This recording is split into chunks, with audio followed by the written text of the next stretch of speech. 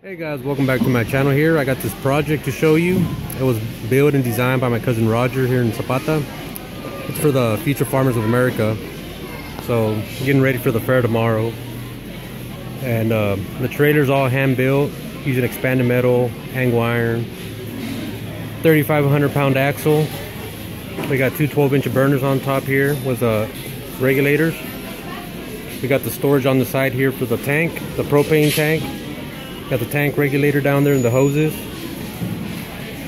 We got a little nice storage here for the firewood. I want to say it's about four feet by about two and a half feet wide. We got a 30 inch wide propane tank with a firebox about 24 by 20 by 20. We got your little butterfly uh, vent there. Use some square tubing in here, about 3 16 thickness or 1 8 I believe. The flange on here is about 1 8 inch and quarter inch on the door itself.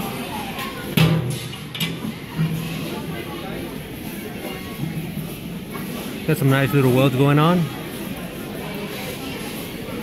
Expanded metal all on the bottom. We got these little brackets up here to hold the roof up. They got two four inch stacks. Two separate doors. They got sliding trays. 3 16 uh, thick angle iron. 1 8 thick uh, expanded metal by 3 quarter inch opening. Expanded metal on the side as well. Same thing on this side. Got about a 10 inch uh, tabletop here, 10 inch thick. We got a box over here to remove the ashes. Similar to a firebox. Just makes things a lot easier. Once again, has square tubing in here.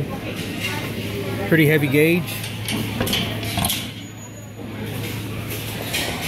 You got your welded uh, trailer jack up front, 2,000 pound rating.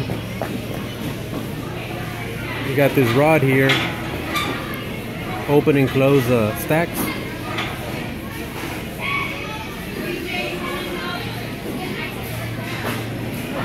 Got a new R panel on the rooftop, and um, once again, this is just a project to raise some money and bring it to the fair, see what it does this year.